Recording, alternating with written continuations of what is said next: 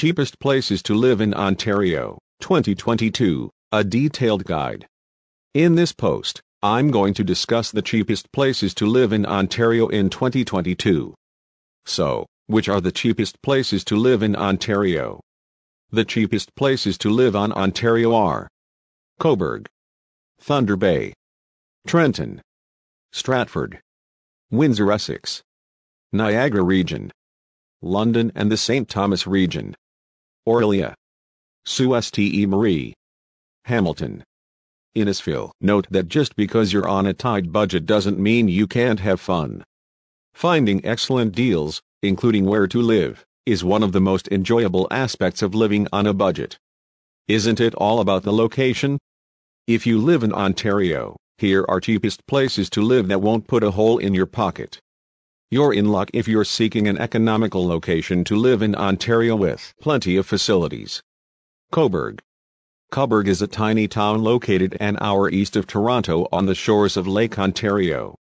It is well known for its parks and beaches, making it a popular tourist destination. Cobourg has a population of less than 15,000 people, however because of its proximity to Toronto, there are plenty of work opportunities. Cobourg might be your best bet if you're seeking for a more cheap place to live in Ontario. The cost of living in Cobourg is inexpensive when compared to other parts of Canada.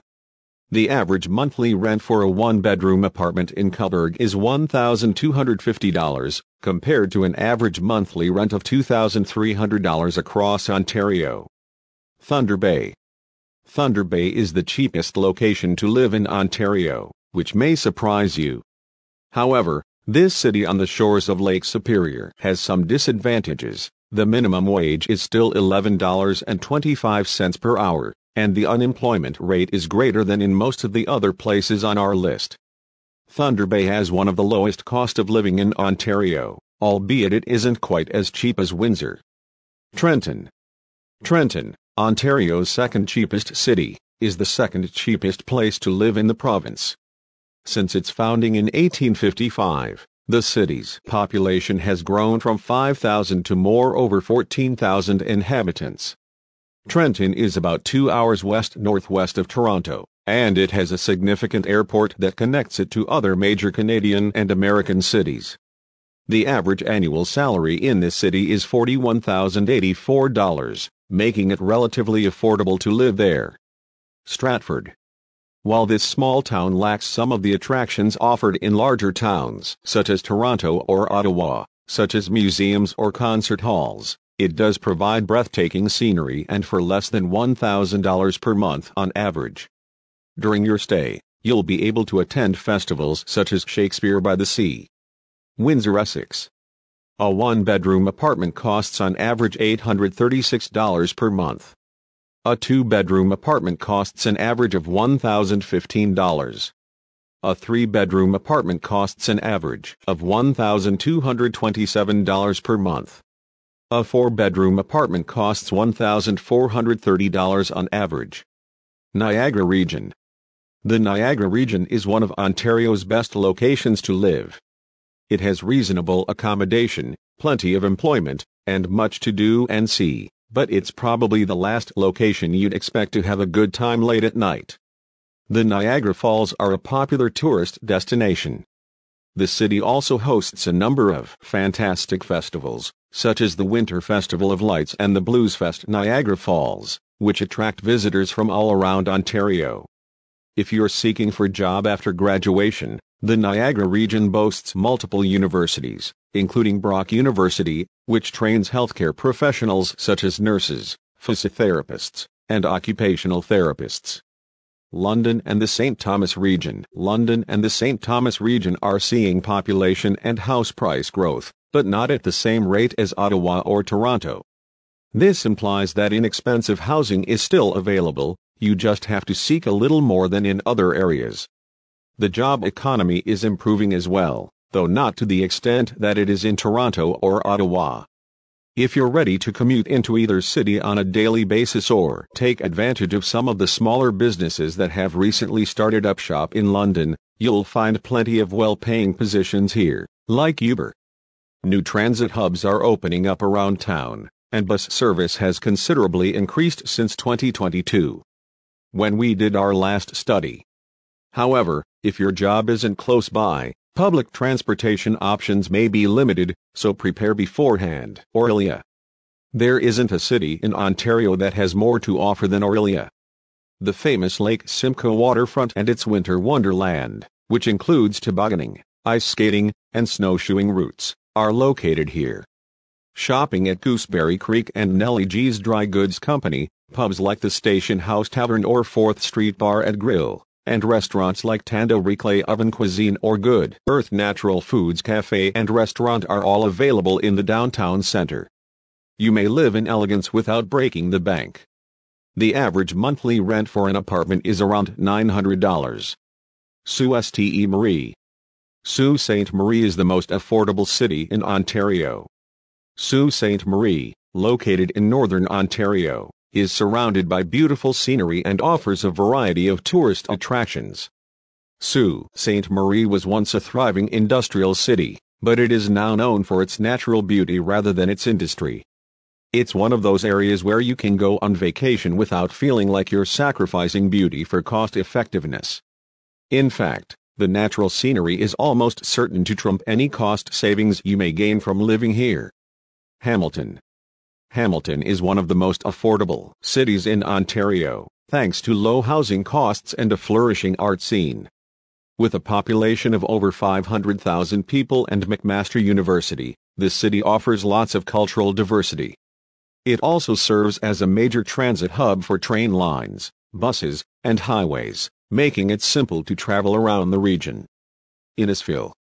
Innisfil is a town in Ontario, Canada. It is located in Simcoe County. It's a part of the Greater Toronto Area, GTA.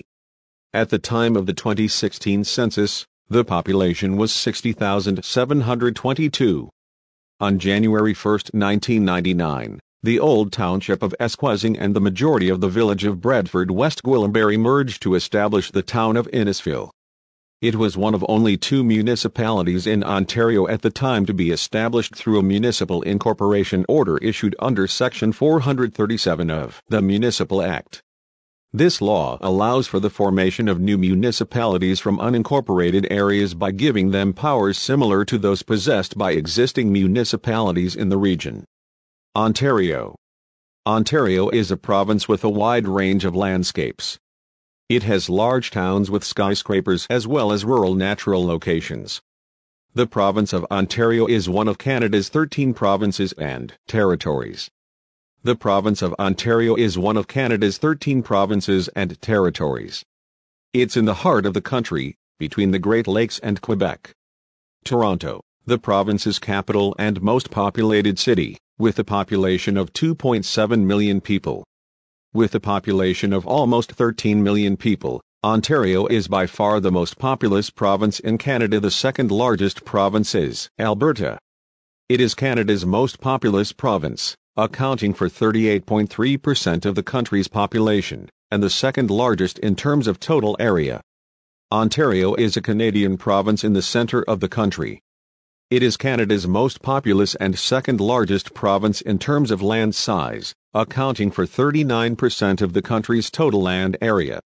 Over 13 million people live in Ontario, with about 9% of them being foreign born. The province of Ontario offers many attractions that attract travelers from all around the world.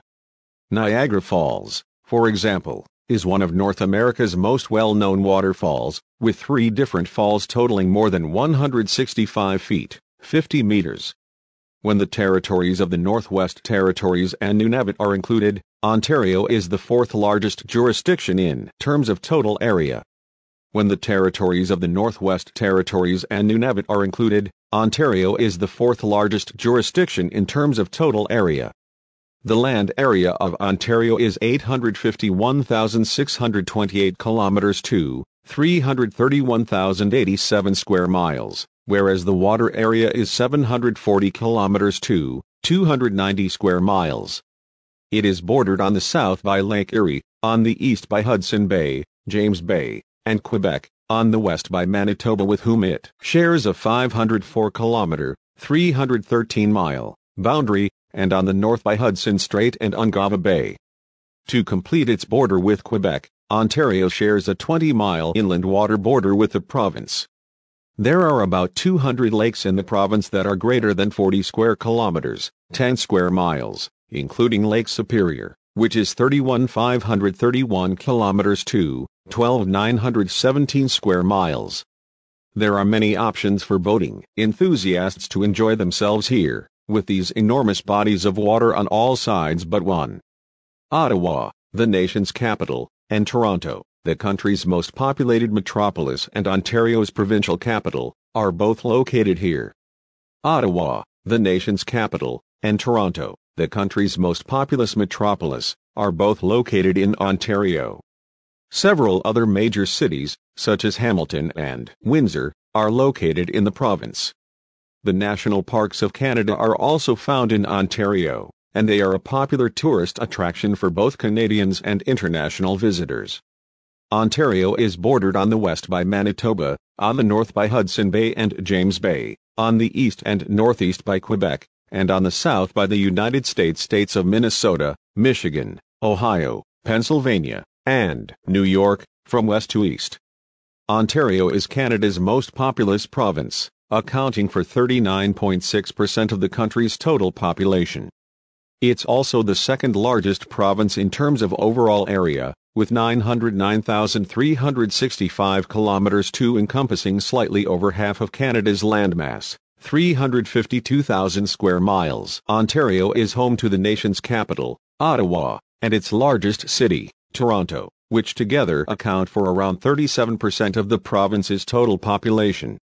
To the west, Manitoba. To the north, Quebec. To the east, New York State. Michigan and Ohio on the south side of Lake Erie.